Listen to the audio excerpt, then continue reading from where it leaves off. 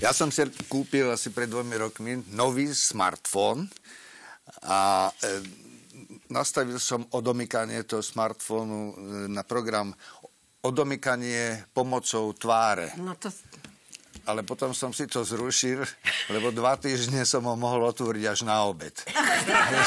to, toto som presne, to sa stalo kamarátke mojej.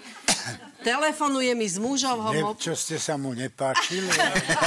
z mužovho, som z mužovho mobilu mi telefonuje a povie, počúvaj, tento môj telefon, to je taký debil. Ja to mám nastavené na toto, že tva, tvár, akože sa, tvár sa ukazuje, nie celá, hej, tvár. tvár. Tvár si. No.